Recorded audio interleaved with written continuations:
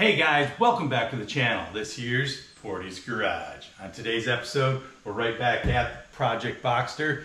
I gotta tell you, the interior smells horrible. It's been, I've had the top down, obviously the door off for a few days.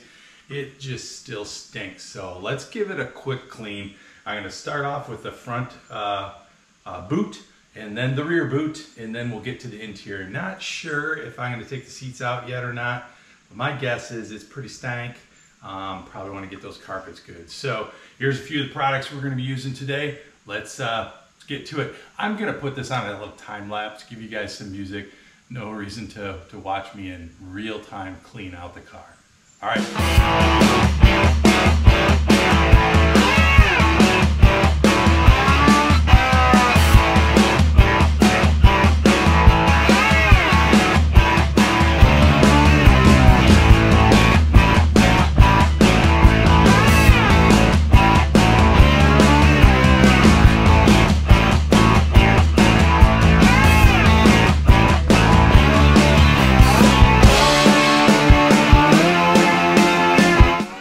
Looks good here. Let's uh, hit the back boot.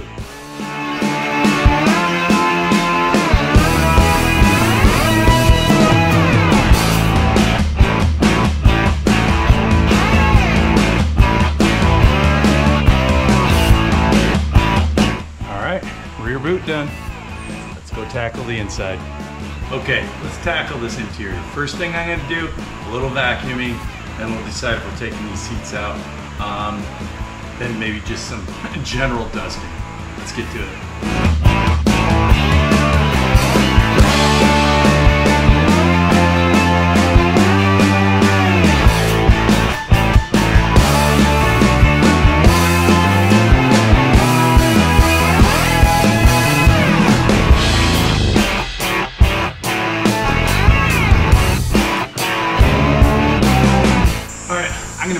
The other side so I can get that one.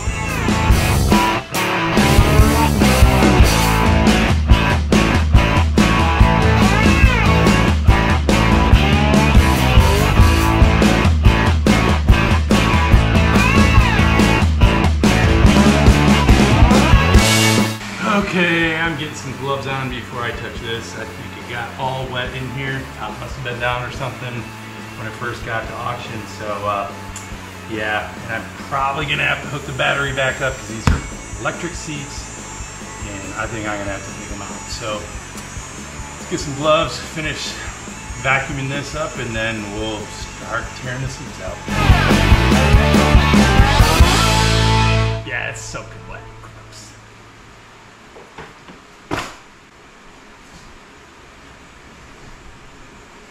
Good news is it's clean underneath, but wet.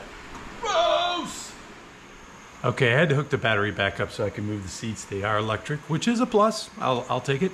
Um, if you guys watch my 996 video when I had the seats re-dyed, you had to take those out too. So kind of the same story, um, but electric this time. So get the E12 socket. It's uh, this, fit right in here. I'm gonna break them with this and then we'll take them out with the Milwaukee.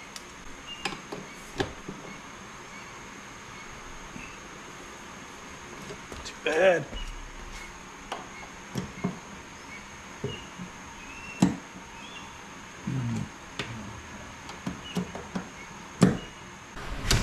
Well, this is going to be a fun one. Previous owner or somebody previous broke the uh, connector, so let me uh, let me take a look at this off camera and see what we can do to get her out. Okay, I want to show you what I'm dealing with here. So this connector right here, you're supposed to pull it up. There's supposed to be a piece here to pull it up, and then it just kind of pulls it out. It's like the connector's in the back of your dash. Um, YouTube is your friend, people. Uh, use it so you know how to do this stuff. I'm not sure where we're going with this, but let's cut this baby here.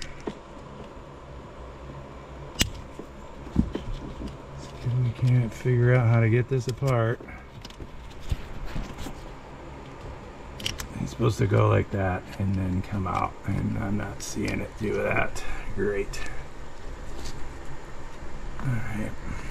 Well, let me get a Let me get a screwdriver and see if we can't pry that open here a little bit or figure out how we get the mechanism to work.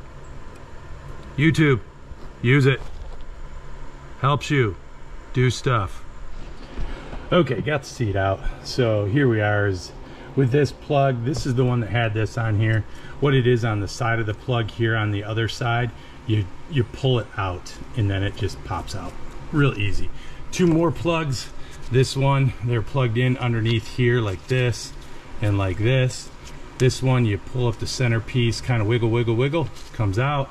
This one, you uh, grab these two ears and pull that out. So we should be all set.